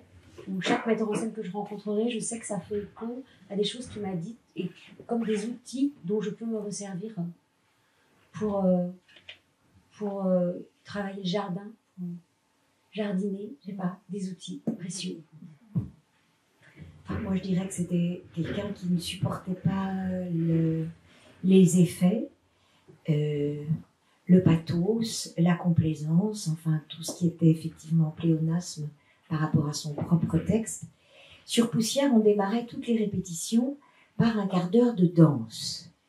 Il était un grand connaisseur des variétés françaises, mais et international, mais tellement spécialiste, il était impressionnant. Donc il mettait son, son petit ordinateur, il l'enclenchait, et Amélie était juste à côté, et il nous demandait de danser, soit tout seul, soit par deux, soit par groupe, enfin, de faire tout ce qu'on voulait pendant un quart d'heure. Donc on pouvait se lâcher pendant un quart d'heure, en gros, hein, c'était un peu ça. Et en fait, lui, pendant un quart d'heure, il, il, travaillait, parce qu'il nous regardait et il voyait très bien comment un tel allait avec un tel autre, comment euh, une d'elles euh, était totalement euh, délurée, se lâchait, etc. Et il était très très rigoureux. La toute première lecture de Poussière, on était en cercle comme ça dans le, la salle de répétition. Donc on portait tous des noms de lettres d'alphabet majuscules. Donc moi j'étais B, j'étais mariée à A, qui était Hervé Pierre, qui va nous rejoindre dans pas longtemps. Et on a commencé la lecture. Il se trouve que j'étais assise à côté d'Hervé donc on a commencé la lecture en se regardant Hervé et moi. Ça lui a pas plu du tout. Non. Il a dit, vous arrêtez de vous regarder. Vous regardez personne, vous regardez juste votre texte. Avec Hervé, on s'est regardé, on a dit, bah dis donc, on va pas rigoler. et, puis c'était tout le contraire, en fait. C'était tout le contraire, parce que ce qu'il voulait, c'était qu'on se concentre sur le texte, mais qu'on commence pas à inventer, euh, comment dire, des intimités des complicités qui, qui, qu'il ne connaissait pas et qu'il ne voulait pas voir. A et B étaient mariés, mais si ça se trouve, ils se détestaient. Enfin, on n'en savait rien. Donc, il fallait qu'on reste très euh, sobre par rapport à lui. Et euh, effectivement, euh, dans cette lecture, il quittait pas son texte des yeux, tu te rappelles? Il était rude. Il a dit juste bonjour, il a dit juste au revoir. Il n'y a eu aucun autre effet, je dirais. Et ce qu'il voulait, c'était entendre son propre texte. Mais en dehors de la politesse, la courtoisie, enfin toutes ces matières grasses dont on n'a pas besoin. Parce qu'il se trouve que je n'ai pas connu, je n'ai pas, travaillé avec lui, je n'ai pas connu, mais, euh, mais j'ai travaillé avec Michael Nuglist, et, euh, dont, dont, il est question dans ce qu'on a lu tout à, tout à l'heure. Et, donc, comme je venais de faire il n'y a pas longtemps, euh, calme, donc tout de suite, avec je vais poser des questions pour qu'est-ce que c'était de travailler avec, euh, avec Marche Noël. Euh, parce que donc ils avaient fait, en fait, quand ils étaient jeunes, ils avaient travaillé beaucoup ensemble. C'était une espèce de troupe, tout ça. Et lui, sa réaction, c'était qu'est-ce qu'on a rigolé. Il disait pour lui, c'était au contraire, c'était vraiment quelque chose de, c'était quelque chose de très joyeux. Mais bon, je pense qu'ils étaient jeunes quand même. Non, et puis on, on riait quand même. mais, mais, euh, oui. Mais en tout cas, c'est sûr qu'ils ne voulaient pas. C'était aussi pour vous entendre à l'intérieur, comme ils ne les connaissaient pas, les comédiens du français. Ils voulaient surtout être sûrs parce qu'ils se connectaient sur, euh, comme il le dit, hein, je me mets à l'intérieur des comédiens pour être sûr que vous ne soyez pas en train de faire ce que vous êtes habitué à faire et voir vos zones de confort. Et quand il est perturbé par d'autres choses, quand c'est pas la lecture pure, je pense qu'il était là-dedans. Moi, en tout cas, sur Poussière, ce que je trouvais détonnant, un des comédiens lui avait posé la question, il avait dit, mais moi, mon personnage, il s'occupe de chiens, est-ce qu'il faut euh, que je joue quelqu'un de vieux qui est d'un milieu populaire? Il dit, ah, mais non, t'es toi-même. Et ça, ça avait drôlement perturbé les comédiens aussi, c'est-à-dire que le chemin, c'était partir au plus profond de soi, de l'être, du comédien, de la personne qui est là, pour en partant du fond trouver le personnage. C'est-à-dire, c'est pas on, remonte pour aller chercher le personnage à l'extérieur qu'on se place dessus. Hervé, rejoins-nous. Ah, Hervé, voilà mon mari. Et euh...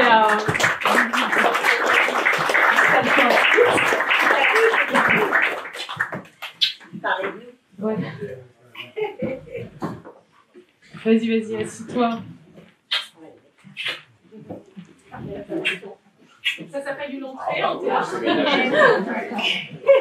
Et donc sur, euh, sur Poussière, ce que moi je trouvais très beau quand il leur a dit on va aller au plus profond pour trouver le personnage et pas de l'extérieur. Ce qui avait d'étonnant, alors ça, ça sera une question qu'on pourra poser à Hervé et Dominique, c'est que sur scène, on ne voyait absolument pas Hervé et Dominique vieux. En revanche, on savait extrêmement bien, puisque moi je suis la seule ici d'avoir avoir été dans le public par rapport à vous, on voyait sur scène la personne âgée que vous allez être, que vous allez devenir. Et ça, c'était incroyable. C'est-à-dire que vous n'étiez pas la personne âgée, vous étiez, pour nous, de manière évidente, celle que vous serez dans 10 ans, dans 20 ans, dans 30 ans. Alors je ne sais pas justement comment s'est passé ce travail-là, vous de l'intérieur, pour construire ces personnages. Hervé, tu vas attaquer tout de suite. je suis chaud Mais en fait, euh, ce que je trouve euh, qui est très impressionnant avec euh, la rencontre avec Lars, au fond, c'est lié à, un abandon. Je, quand, j'ai rencontré Lars et que j'ai abordé le travail avec lui, surtout au départ, j'avais beaucoup de réserves, en fait, j'avais peur, j'avais beaucoup peur.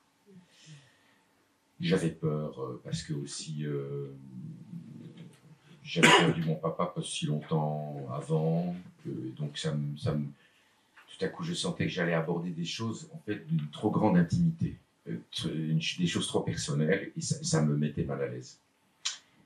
j'ai essayé de, de, le louvoyer, quoi. Je me suis dit, comment est-ce que je peux me sortir de la proposition sans que ça soit trop, trop violent? Et là, euh, c'est-à-dire, il a demandé à Lars d'arrêter le projet. Oui, moi, je l'ai quitté. Mais là, il m'a, il m'a dit des choses qui m'ont désarçonné, quoi, en fait. C'est-à-dire qu'il n'est pas venu me chercher, il n'est pas venu me dire euh, il faut, faut le faire, il faut que tu le fasses, je sais pas quoi. Il n'a pas flatté euh, quoi, quelque ego que ce soit. Et il m'a juste dit mais euh, c'est avec ça que tu vas faire, quoi. Et tout à coup, je me suis dit mais bon sang, oui, en fait, je, quand même, on fait ce, métier aussi à cause de ça on fait avec ce qu'on est, quoi. on fait avec qui on est, on, parle de notre histoire au bout du compte très souvent. Donc j'ai accepté de m'abandonner. Et en fait, dans tout le travail avec Lars, je trouve que c'est ce rapport-là, en fait, d'accepter, de lâcher, d'abandonner, Et je sais qu'il y a eu un autre moment comme ça où, à un moment, Lars nous avait dit, mais euh, j'aimerais bien un moment qu'on aborde la nudité des corps. Euh, et, en, fait, euh, personne n'osait personne n'avait envie de se foutre à poil sur le plateau. C'était enfin, gênant, quoi. Et puis à un moment, je sais pas pourquoi, je me suis dit, ah mais il faut que je le fasse là, maintenant. Donc je l'ai fait. Je me suis retrouvé tout nu. Je m'attendais à ce qu'il y ait un retour quand même. C'est quand, même pas une mince affaire quand même. Se déshabiller sur le plateau du Chevalier quand même. Et rien. Alors, euh, j'étais un peu décontenancé, quoi. C'est-à-dire, euh, il m'a rien dit. Il m'a juste à un moment passé à côté de moi et puis il m'a tapé sur l'épaule, comme ça, voilà. Et, c'est tout. Mais là aussi, c'était comme si, euh, en fait, il faisait confiance à ce, au parcours que, que chacun d'entre nous, en fait, était en train de faire avec son écriture. Et, et, et donc, cette sensation d'être dans l'atelier euh, d'écriture dans l'atelier de celui qui fabrique, que ce soit un peintre ou, mais là, un écrivain, un poète, d'avoir la sensation que, que, que, nous tous, on était dans la matière, en fait, poétique. Et, et, et donc de le voir travailler, de voir comment il, faisait confiance à nous, comme il faisait confiance aux mots avec, lesquels il travaillait.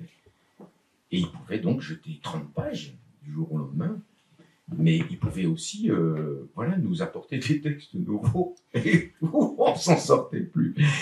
Et où c'était l'enfer, quoi. Mais c'est ça qui était euh, formidablement réjouissant, en fait, qui fait que on a pu, dans cet abandon, peut-être euh, lâcher un certain endroit qui fait que nos corps devenaient porteurs de, de de l'imaginaire que lui avait envie d'y mettre, c'est-à-dire que tout à coup, la vieillesse n'est pas quelque chose qu'on construisait, c'était quelque chose qui, en fait, nous arrivait. Euh, on était dépositaire, en fait, de la, de, la poésie de Lars, et donc euh, de, la manière dont il pouvait nous rêver ensemble en train de, de vivre ce moment dans cet hôtel euh, en Espagne. c'était pathétique. Mais c'était vraiment une rencontre bouleversante pour moi. Alors là, comme vous avez entendu dans l'extrait du journal, Lars disait qu'il ne pouvait pas ne pas aimer les comédiens avec qui il travaillait, mais je crois que l'amour dans l'autre sens marchait aussi. Après vous avoir écouté, euh, on ne peut pas travailler avec Lars en restant insensible ou en ne l'aimant pas. Et d'ailleurs là, juste dernière petite anecdote avant de passer à vos questions c'est justement Lars aimait ses comédiens, Lars faisait ce travail-là, et Lars au moment de poussière, et puis très souvent, le jour de la première est parti. Il n'a jamais vu le spectacle. Donc, euh, il le disait, maintenant c'est à vous, il est là le spectacle. C'est, Donc, je voulais avoir votre réaction, justement, enfin, en tout cas, quelques mots sur ça, puisque c'est peu courant, puisque en général, le metteur en scène vient saluer au moment de la première, et il vous a laissé avec poussière entre les mains. Bah, moi, je trouvais ça euh, une fameuse preuve de confiance. Il nous avait donné, à un moment donné, ça nous appartenait, c'était à nous de nous envoler avec euh, le travail. Et euh, je pense qu'il n'aimait pas euh, tout ce qui va avec ce métier parfois, la reconnaissance, les applaudissements, les, discussions, les afters. Ça, ça l'intéressait pas. Il avait, je pense, le sentiment d'avoir accompli ce qu'il devait faire avec nous. Et puis, hop, il nous disait maintenant, c'est à vous. Je m'efface. Et euh, ouais, je trouvais que c'était une fameuse preuve de confiance. Et moi, ça m'a jamais, euh, jamais gêné. Je trouvais, je comprenais totalement son envie de, de partir. C'était, comme je vous disais tout à l'heure, ce côté sans peau faisait que même ça, c'était, c'était, voilà, ça lui ressemblait bien de, de s'en aller. C'est trop épidermique pour lui, tout ça, l'après. En tout cas, quand on lit l'extrait du journal en 2000, euh, il disait que la vieillesse, euh, enfin les années plutôt que la vieillesse, lui avait permis cette liberté-là. Avant, il restait. Et justement, c'était terrible, comme disant des vies de partie. Mais euh, écoutez, tous ces gens qui, c'était très violent pour lui. Donc, je ne sais pas si vous avez des questions. Profitez justement de cette belle brochette.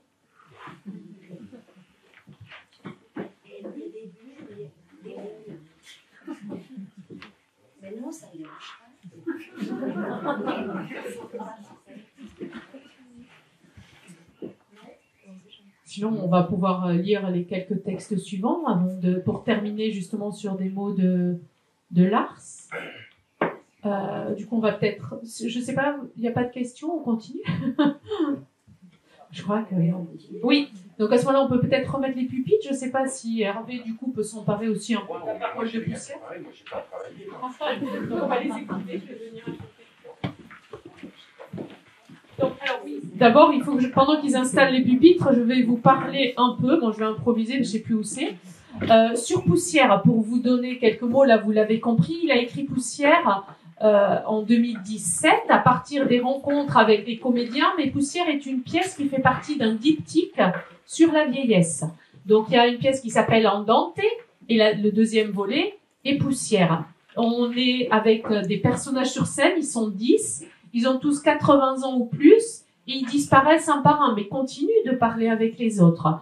Noren m'avait dit qu'il s'était inspiré de la symphonie des adieux d'Aydin, ou euh, je prononce peut-être très mal, l'Autrichien, euh, où en fait il avait écrit cette symphonie, ce compositeur, au moment où il était parti avec tout l'orchestre, avec leur prince mécène euh, autrichien dans sa résidence d'été. Sauf que le prince se plaisait beaucoup dans sa résidence d'été, donc n'en partait plus. Et tous les musiciens en avaient marre, voulaient revoir leur famille, mais ils n'osaient pas le dire au prince. Du coup, Haydn a écrit cette symphonie où lors de l'adagio, le dernier mouvement, en fait, un par un, les instruments s'arrêtent de jouer, ils soufflaient leurs bougies et les musiciens partaient de scène. Un par un, il ne restait que le violon qui était Haydn à la fin, donc le prince a compris qu'il était peut-être temps de partir et lui, il s'est dit, je vais écrire poussière, comme ça les personnages vont disparaître un par un. Il y a aussi en parallèle, puisque c'est une pièce sur qu'est-ce que la mort, euh, des migrants, des enfants migrants, notamment un, un, enfant et des migrants dont les corps étaient rejetés sur la plage, puisque nous sommes dans un resort avec des personnes en âge de retraite qui viennent passer leurs vacances euh, régulièrement depuis des, années, des dizaines d'années, se retrouvent là et puis disent oh non encore des corps sur la plage. Donc on avait voilà ces deux parallèles dans cette pièce-là. Donc là vous n'aurez pas un extrait de la pièce, mais un texte de Lars qui parlait de poussière et ensuite on, on abordera solitaire. C'est des propos qui sont recueillis le 6 décembre 2018 par euh, Amélie.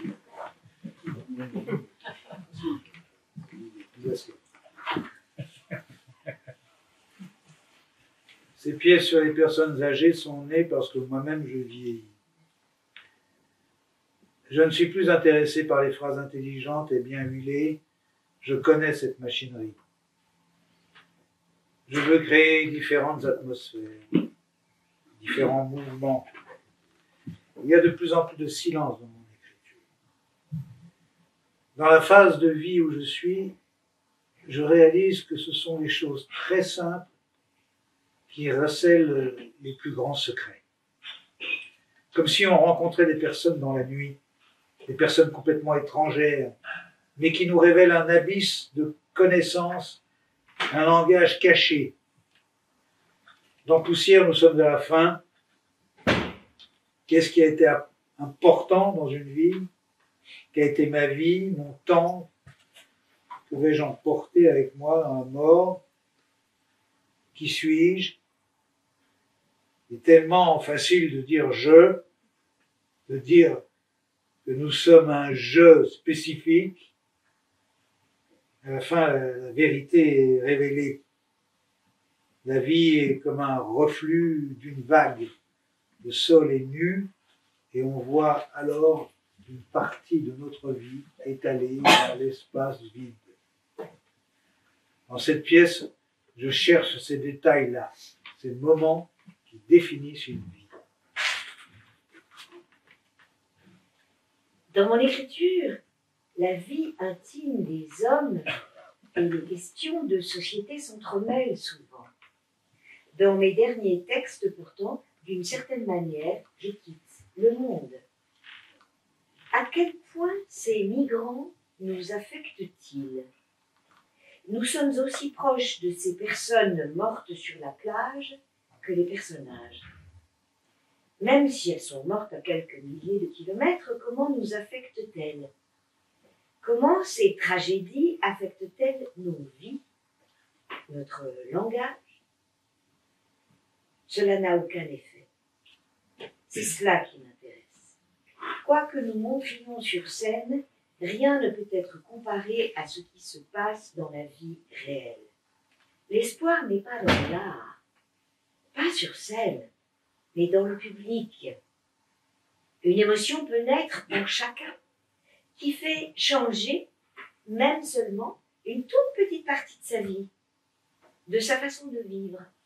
Je pense que le théâtre est puissant. Ce n'est pas montrer les victimes qui m'intéresse, mais montrer le monde qui a rendu cela possible. Et comment ces tragédies affectent les gens qui regardent. Les circonstances, les conditions de la société, qui continuent d'agir comme si rien ne se passait. C'est une pièce très étrange, une musique pas simple. Bien sûr, au début, ce texte peut sembler très simple quand on lit, juste des mots quotidiens et ordinaires. Mais c'est beaucoup plus fragile et parfois sans substance. Il ne s'agit que d'air ou d'humeur ou de pression dans l'air. C'est pourquoi je travaille très près de ce que sont les comédiens. Et même si c'est extrêmement difficile de rendre ces pièces réelles ou concrètes, sur scène, notre travail a été facile, avec beaucoup d'échanges. Ils ont été très disponibles, patients et toujours à l'écoute. Je descends à l'intérieur d'eux pendant les répétitions. Je cherche leur noyau. Et je sens alors s'ils arrivent à le toucher ou s'ils l'évitent en faisant autre chose. Lors de ma mise en scène précédente, je suis partie de l'apparence des comédiens pour atteindre leur intérieur. Et j'ai essayé de faire le même chemin à nouveau avec les comédiens de poussière. Partir de ce que le corps ressent, de comment il est, de comment il se comporte, de son âge, morceau après morceau, en essayant d'aller de plus en plus profond. Nous sommes dans cette phase du processus où nous devons à la fois aller au plus profond et rester léger en même temps. Je voudrais qu'il joue cette pièce le plus longtemps possible comme une comédie. Voilà, on va, ils vont vous lire par la suite un extrait de Solitaire. Alors dans Solitaire, en fait, il y a un, un rectangle de lumière au sol. Il y a dix personnes, dix personnages qui sont dans ce rectangle de lumière. Ils ne peuvent pas en sortir, même s'il n'y a pas de mur. Ils sont là, ils ne se connaissent pas, ils ne se souviennent pas pourquoi ni comment ils se sont retrouvés là. Donc peu à peu, ils parlent. Il y a juste en, en didascalie des moments d'intense lumière, sinon c'est dans la pénombre.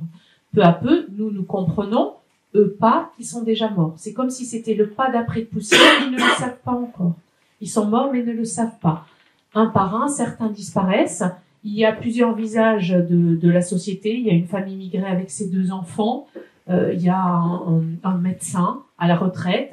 Il y a quelqu'un de très jeune. Donc, euh, ils, ne, ils ne savent pas pourquoi ils sont là. Ils commencent à parler ensemble des animosités secrètes, des complicités, etc. Là, on est dans un moment de la pièce euh, qui est plutôt vers la fin Plusieurs d'entre eux ont déjà disparu d'une crise cardiaque. Un enfant a été, le bébé était mort, la mère ne le savait pas encore, etc. Donc on, va choisir trois per enfin là, on va suivre trois personnages, sachant que les sept autres sont autour avec eux.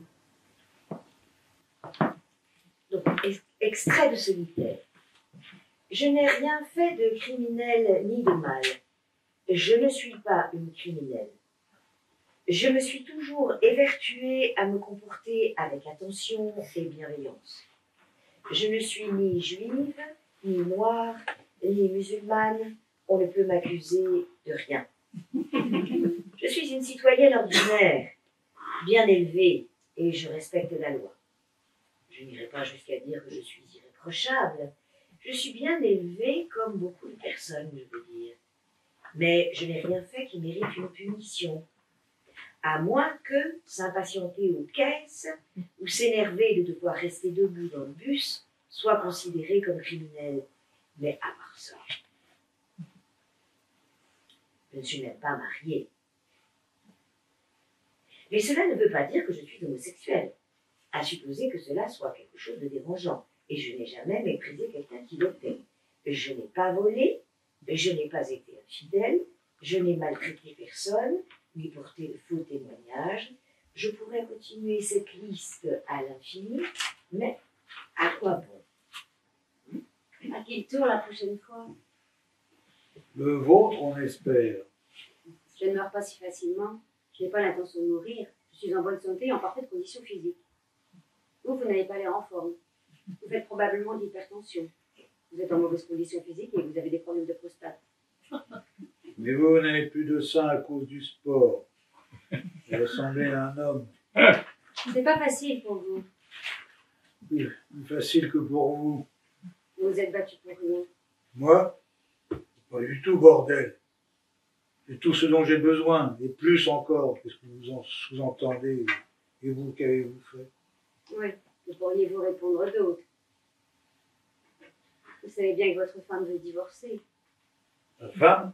Elle attend seulement le bon moment. Pas du tout, bordel. Vous savez que dalle sur ma femme. Bien sûr que si. La ferme. Je sais exactement ce qu'elle ressent. Te faire foutre, j'ai dit. On commence presque à accepter la situation, qu'on le veuille ou non. C'est là qu'on abandonne. Pourquoi est-ce que je n'abandonnerais pas si c'était la décision la plus sage? À quoi ça rime tout ça? Je me réveille tous les matins avec une angoisse dont j'ignore l'origine. J'ignore de quoi elle est faite. Je me demande souvent pourquoi es-tu si désespéré D'un point de vue humain, je n'ai pas de quoi être angoissée. J'essaye souvent de me remonter le moral en pensant à mes parents gentils et à mon enfance sans accroc, et j'essaye de me dire que tout s'est plutôt bien passé. Relativement bien passé.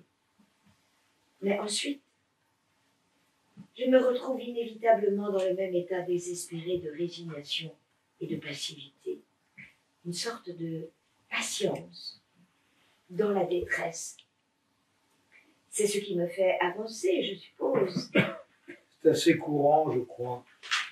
Oui, peut-être, mais cela n'aide pas. En ce qui me concerne, je ne sais pas ce qu'elle angoisse. Je fais ce que je dois faire et ce que je veux. Je ne veux rien. Bon, ben alors. Non. Avant, je m'imaginais que lorsque je serais vieille, je serais assise sous un olivier, dans une région assez sèche, le soleil au-dessus de moi, un livre à la main, un chapeau de paille sur la tête. J'entendrais le cri des ânes dans la vallée. Je méditerais, ébloui par la mer, jusqu'à ce que la nuit tombe. Après, je remonterais le sentier vers un petit restaurant familial dont je serais une habituée et où l'on aurait déjà mis sur la table ma bouteille de vin. Et je dînerais là. Et je prendrais peut-être des notes sur... euh, je ne sais quoi. Je ne sais pas sur quoi je prendrais des notes. J'ai vu beaucoup de morts. Ah bon Ça faisait partie de mes attributions. Des morts de toutes sortes, jeunes et vieux, malades et en bonne santé, minces et gros, beaux, laids, petits, vieux, grands, jeunes, des connards heureux ou aigris, des ados qui se sont laissés mourir de faim, des alcooliques poignardés, des femmes étranglées, des brûlés, des écrabouillés, des empoisonnés, des noyés, des carbonisés par l'électricité, des asphyxiés, des affamés, des transpercés, des découpés en mille morceaux, des poussés d'un balcon, ou bien des jetés d'un pont, et ainsi de suite. C'est son fin. Et maintenant, vous nous voyez, nous. Je me souviens de chacun d'eux. Vous n'étiez pas infirmière dans un hôpital psychiatrique Maintenant, oui, mais avant, j'étais aux soins intensifs. Là-bas, d'accord. On voit pas mal de choses là-bas, n'est-ce pas? Tous ceux qui n'étaient pas entièrement massacrés avaient une sorte de beauté et de dignité. De beauté. Oui. Je ne trouve pas de meilleur mot. Merci.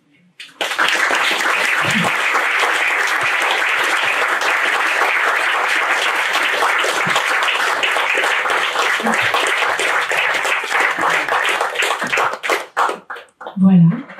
Donc je pense que, sauf si vous avez des questions particulières, sauf si vous voulez rajouter des choses aussi, mais euh, on a fait une belle traversée, une belle traversée norénienne. Euh, voilà, merci à vous d'être venus, d'être venus écouter euh, ce, ce visage de Lars à travers le prisme des comédiens. Merci à Peter pour la régie, là-haut. Merci à l'Institut, merci à vous. Au revoir.